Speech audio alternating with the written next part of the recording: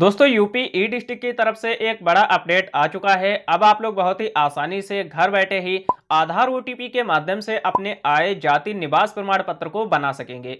और जिस भी दिन आप लोग ऑनलाइन अप्लाई करेंगे, उसके मात्र सात दिनों के अंदर ही आपका जो सर्टिफिकेट है, वह बन के तैयार हो जाएगा। हमने खुद इस वेबसाइट के माध्यम से सर्टिफिकेट के लिए ऑनलाइन अप्लाई किया था और अप्लाई करने के बाद में हमारा सर्टिफिकेट जनरेट हो चुका है। अभी मैं आप लोगों को लाइव उस सर्टिफिकेट को डाउनलोड करके भी दिखाने वाला हूँ। यहाँ पर अगर आप लोग आय जाति निवास प्रमाण पत्र के लिए ऑनलाइन अप्लाई करते हैं तो इसमें आपको मात्र पंद्रह रुपए की ऑनलाइन ही फ़ीस का पेमेंट करना पड़ता है और ये पोर्टल पहले से काफ़ी ज़्यादा चेंज हो चुका है। सो इस वीडियो में मैं आपको कंप्लीट प्रोसेस बताने वाला हूँ कि आप किस तरह से ऑनलाइन ही आय जाति निवास प्रमाण पत्र के लिए अप्लाई कर सकते हैं। डॉक्यूमेंट्स के बारे में बात करें तो आपके पास में तीन डॉक्यूमेंट्स होने चाहिए। सबसे पहले तो आपके पास में एक पासपोर्ट साइज़ फ़ोटो होना चाहिए। दूसरा डॉक्यूमेंट आपके पास में आधार कार्ड होना चाहिए और तीसरा आपके पास में एक स्व प्रमाणित घोषणा पत्र होना चाहिए, जो कि आप लोग यहाँ पर देख सकते हो। और इस घोषणा पत्र का जो लिंक है, इस वीडियो के डिस्क्रिप्शन बॉक्स में दे दूँगा। और साथ ही मैं आप लोगों को इसे भरना कैसे है, वो भी आपको बताने वाला हूँ। तो चलिए शुरू करते सबसे पहले आपको इस वाली वेबसाइट पर आ जाना है, जिसका डायरेक्ट लिंक मैं वीडियो के डिस्क्रिप्शन में दे दूँगा। यहाँ पर आपको सिटीजन लॉगिन ई साथी वाले ऑप्शन पर एक बार क्लिक कर देना है। क्लिक करने के बाद में यहाँ पर आईडी पासवर्ड डाल करके आपको लॉगिन करना है। लेकिन अगर आपके पास में आईडी पासवर्ड नहीं है तो आपको नवीन उपयोगकर्ता पंजीकरण वाले ऑप्शन पर एक बार क्लिक कर देना है। अब जैसे ही क्लिक करेंगे, यहाँ पर आप लोगों को छोटा सा एक रजिस्ट्रेशन करना पड़ेगा, जिसमें कि आपको सबसे पहले लॉगिन आईडी टाइप करना है, जिसमें कि आप अपने नाम और नंबर्स को मिक्स करके लॉगिन आईडी टाइप करेंगे, उपलब्धता की जाँच करे वाले ऑप्शन पर क्लिक करेंगे। अगर ये अवेलेबल होगी तो आपको मिल जाएगी। इसके बाद यहाँ पर आप जिसके भी नाम से सर्टिफिकेट अप्लाई कर रहे हैं, उसका नाम, डेट ऑफ़ बर्थ और जेंडर इसके बाद आपको यहाँ पर अपना कंप्लीट एड्रेस फिल कर देना है। आपके एरिया का जो पिन कोड है, वो यहाँ पर टाइप करेंगे। जिला आपको इस लिस्ट में से सिलेक्ट कर लेना है। और इसके बाद यहाँ पर mobile number email ID captcha code यहाँ पर फिल करके सुरक्षित करें वाले ऑप्शन पर क्लिक करेंगे। इसके बाद दोस्तों पासवर्ड बनाने का पेज आ जाएगा। वहाँ पर आप लोगों को अपने पासवर्ड को क्रिएट कर लेना है। जब आपका यहाँ पर सक्सेसफुली पासवर्ड क्रिएट हो जाए, इसके बाद आपको लॉगिन करना है। लॉगिन करने के लिए आपको दोबारा से इस पेज पर आ जाना है। यहाँ पर आपको लॉगिन आईडी पासवर्ड और इस कैप्चा कोड को डाल करके सबमिट वाले ऑप्शन पर एक बार क्लिक कर देना है। और इसके बाद आपके सामने कुछ इस तरह से ये पोर्टल आ जाएगा। सबसे पहले मैं आपको यहाँ पर जो मैंने प्रमाण पत्र अप्लाई किया था, उसके बारे में बता देता हूँ। तो आप जो भी सर्टिफिकेट अप्लाई करेंगे, उसका यहाँ पर आप लोगों को एक ऑप्शन देखने को मिलेगा, आवेदन की सूची।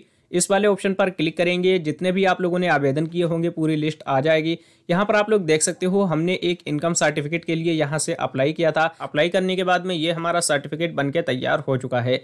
आप जो भी सर्टिफिकेट अप्लाई करेंगे, उसे आप लोग डाउनलोड कैसे करेंगे तो उसके लिए आपको यहाँ पर एक ऑप्शन देखने को मिल जाएगा, निस्तारित आवेदन। इस वाले ऑप्शन पर आपको एक बार क्लिक कर देना है।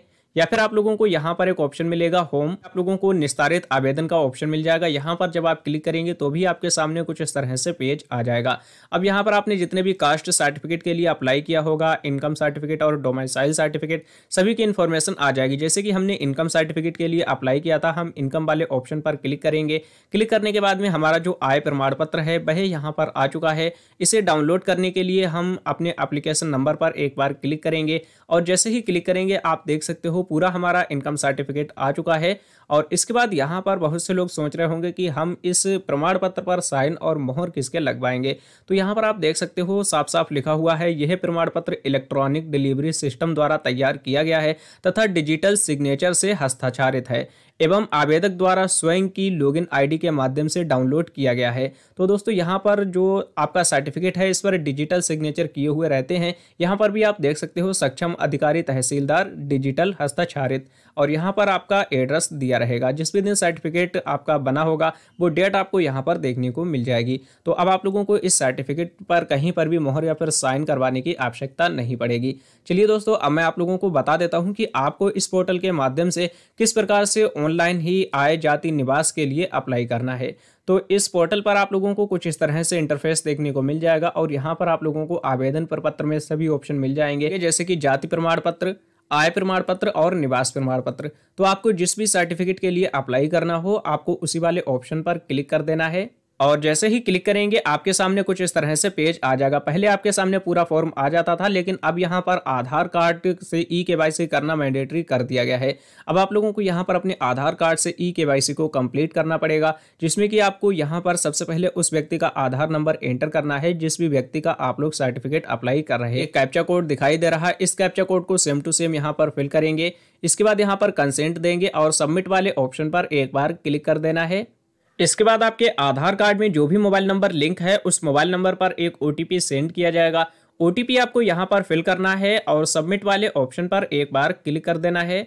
और जैसे ही क्लिक करेंगे, यहाँ पर आपके सामने पूरा फॉर्म आ जाएगा। अगर आप निवास प्रमाण पत्र के लिए अप्लाई करेंगे तो यहाँ पर निवास प्रमाण पत्र का फॉर्म आ जाएगा। ऐसे ही आप लोग अगर आय प्रमाण पत्र या फिर जाति प्रमाण पत्र के लिए अप्लाई करेंगे तो उसका पूरा फॉर्म यहाँ पर आ जाएगा। अब आपका जो नाम है, वो नाम आपका यहाँ पर ऑटोमेटिक ही आपके आधार कार्ड से ले लिया जाएगा। डेट ऑफ़ बर्थ भी आपके आधार कार्ड से ही ले ली जाएगी। अब कुछ अदर इन्फॉर्मेशन है, वो आपको फिल करना है, जैसे कि आप यहाँ पर अपने पिता पति या फिर संरक्षक का नाम देना चाहते हैं तो आपको यहाँ पर सिलेक्ट करना है और उसका नाम एंटर कर देना है। इसके बाद यहाँ पर आपको अपनी माता का नाम एंटर करना है, यहाँ पर आपको जन्म स्थान फिल कर देना है। इसके बाद यहाँ पर आपको अपने पता को फिल करना है, जिसमें कि मकान नंबर मोहल्ला या फिर पोस्ट का नाम फिल करना है। डिस्ट्रिक्ट आपका पहले से ही सिलेक्ट रहेगा। इस लिस्ट में से आपको अपनी तहसील का नाम सिलेक्ट कर लेना है और तहसील सिलेक्ट करने के बाद जो आपका थाना है, वह ऑटोमेटिक यहाँ पर आ जाएगा। यहाँ पर आपको अपनी ग्राम का नाम सिलेक्ट कर लेना है। इसके बाद यहाँ पर आपको अपने मोबाइल नंबर को एंटर कर देना है। अब आपको यहाँ पर कुछ नीचे की साइड में आना है। और यहाँ पर आपसे पूछा जा रहा है प्रमाण पत्र बनवाने की आवश्यकता, यानी कि आप लोग इस प्रमाण पत्र को क्यों बनवा रहे? तो वो आपको यहाँ पर टाइप कर देना है, जैसे कि स्कॉलरशिप के लिए बनवा रहे या फिर राशन कार्ड के लिए बनवा रहे पेंशन के लिए, जो भी रीजन है आपको यहाँ पर सिलेक्ट कर लेना है। इसके बाद यहाँ पर आपसे पूछा जा रहा है क्या इससे पहले आपको प्रमाण पत्र जारी हुआ है या फिर नहीं? अगर आपके पास में प्रमाण पत्र है तो ही आपको हाँ करना है, नहीं तो आपको नहीं वाले ऑप्शन को सिलेक्ट रहने देना है। इसके बाद सेवा शुल्क का भुगतान कर दिया या फिर नहीं, हमने अभी नहीं किया, इसलिए नहीं वाले ऑप्शन को सिलेक्ट करेंगे। और सिलेक्ट करने के बाद में आपका जो राशन कार्ड, नंबर और परिवार आईडी है, वह ऑटोमेटिक यहाँ पर आपके आधार कार्ड से ही ले ली जाएगी। ये आपको फिल करने की आवश्यकता नहीं पड़ेगी। इसके बाद यहाँ पर आपको कुछ डॉक्यूमेंट्स को अपलोड करना है, जो कि मैं आपको वीडियो के स्टार्टिंग में ही बता चुका हूँ। यहाँ पर आपको एक पासपोर्ट साइज़ के फ़ोटो को अपलोड करना है स्व प्रमाणित घोषणा पत्र को अपलोड करना है और साथ ही आप लोगों को आधार कार्ड को अपलोड करना है। यहाँ पर मैं आप लोगों को स्व प्रमाणित घोषणा पत्र दिखा देता हूँ, किस प्रकार का होता है और आप लोगों को किस प्रकार से उसे फिल करना है। तो अभी आप लोग देख सकते हो, स्क्रीन पर यह है हमारा स्व प्रमाणित घोषणा पत्र और इसका जो डायरेक्ट लिंक है डाउनलोड करने का वो मैं वीडियो के डिस्क्रिप्शन बॉक्स में दे दूँगा। सबसे पहले आपको वहाँ से डाउनलोड करना है, इसके बाद आपको इसका एक प्रिंट आउट निकलवा लेना है। यहाँ पर आप लोगों को आवेदक का नाम फिल करना है, जिसके भी नाम से आप सर्टिफिकेट के लिए अप्लाई कर रहे इसके बाद यहाँ पर आप लोगों को पिता का नाम फिल करना है, यहाँ पर आपको उम्र को फिल कर देना है, उम्र या फिर वर्ष एक ही जगह आप लोगों को फिल कर देना है। इसके बाद आपका जो व्यवसाय है वो आपको फिल कर देना है और यहाँ पर आप लोगों को अपने कंप्लीट एड्रेस को फिल कर देना है। एड्रेस में आप लोगों को ग्राम पंचायत पोस्ट ऑफ़िस तहसील और डिस्ट्रिक्ट का नाम फिल करना है। यहाँ पर आपको स्थान का नाम फिल करना है, जिसमें कि आप अपने गाँव, तहसील या फिर डिस्ट्रिक्ट का नाम भी डाल सकते हैं। जिस भी दिन आप लोग फॉर्म को अप्लाई कर रहे हैं, वो डेट यहाँ पर आपको फिल करनी है। इसके बाद यहाँ पर आपको आवेदक का नाम डालना है और यहाँ पर आपको आवेदक के हस्ताक्षर करवा लेने हैं। तो इस तरह से ये फॉर्म आप लोगों को भरना है और इसके बाद आपको इसका एक फ़ोटो खींच लेना है। इसके बाद आप लोगों को इसका जो साइज़ है वह हंड्रेड के में कर लेना है। अगर आपको साइज़ कम करना नहीं आता तो उससे रिलेटेड भी मैंने एक वीडियो बना दी है। उसका भी लिंक मैं आपको इस वीडियो के डिस्क्रिप्शन बॉक्स में दे दूँगा। और इसके बाद आप लोगों को इसे अपलोड करना है। तो हम दोबारा से यहाँ पर इसी पोर्टल पर आ चुके हैं। यहाँ पर आप लोगों को चुने वाले ऑप्शन पर क्लिक करना है। सबसे पहले फ़ोटो को सिलेक्ट करेंगे और फ़ोटो को सिलेक्ट करने के बाद में यहाँ पर चूज़ फ़ाइल वाले ऑप्शन पर क्लिक करेंगे। क्लिक करने के बाद में जहाँ कहीं पर भी आपका फ़ोटो है, उसे सिलेक्ट कर लेंगे और इसके बाद ओपन वाले ऑप्शन पर क्लिक कर देंगे। यहाँ पर आप लोगों को अपलोड वाले ऑप्शन पर एक बार क्लिक कर देना है। और जैसे ही अपलोड वाले ऑप्शन पर क्लिक करेंगे, यहाँ पर आपका फ़ोटो अपलोड हो चुका है। इसी तरह से आपको स्वप्रमाणित घोषणा पत्र सिलेक्ट करेंगे और अपलोड कर देंगे। और आधार कार्ड को अपलोड करने के लिए आपको अन्य वाले ऑप्शन पर एक बार क्लिक कर देना है। क्लिक करने के बाद में यहाँ पर आपको टाइप करना है आधार कार्ड। और इसके बाद आपको यहाँ पर आधार कार्ड को अपलोड करना है, जिसके लिए आपको चूज़ फ़ाइल वाले ऑप्शन पर क्लिक करना है। जहाँ कहीं पर भी आपका आधार कार्ड है, उसे भी सिलेक्ट करके अपलोड कर देना है।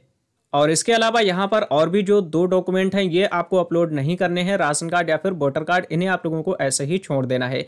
और आप चाहें तो यहाँ पर अपने आधार कार्ड वाले फ़ोटो को ही अपलोड कर सकते हैं। इस कंडीशन में आप लोगों को अलग से फ़ोटो को भी अपलोड करने की आवश्यकता नहीं पड़ेगी। सभी कुछ इन्फॉर्मेशन को फिल करने के बाद में दर्ज करने वाले ऑप्शन पर एक बार क्लिक कर देना है। और जैसे ही क्लिक करेंगे, यहाँ पर आपके पूरे फॉर्म का जो प्रिव्यू है प्रिंट आउट वो आपको यहाँ पर देखने को मिल जाएगा। आप चाहें तो इसका एक प्रिंट आउट भी यहीं से निकाल सकते हैं। इसके बाद यहाँ पर आपको कुछ नीचे की साइड में आ जाना है और इसके बाद यहाँ पर आपको एक ऑप्शन देखने को मिल जाएगा, सेवा शुल्क भुगतान करने के लिए यहाँ क्लिक करें। जैसा कि मैंने आपको पहले ही बताया है, यहाँ पर आपको पंद्रह रुपए का ऑनलाइन ही पेमेंट कंप्लीट करना है। तो आपको इसी वाले ऑप्शन पर एक बार क्लिक कर देना है।